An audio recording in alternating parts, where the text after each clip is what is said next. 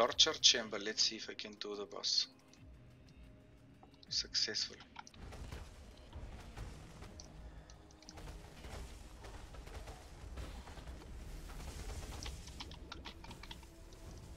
Oh my god, that was crazy.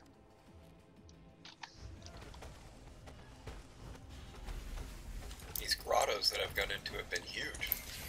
Yep. Wow. I raped the boss, okay?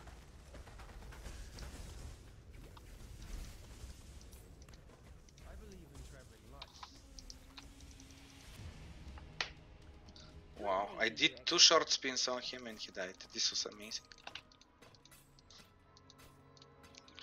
This is definitely the strongest character I've ever had, and it's and he's definitely with, not with the most expensive.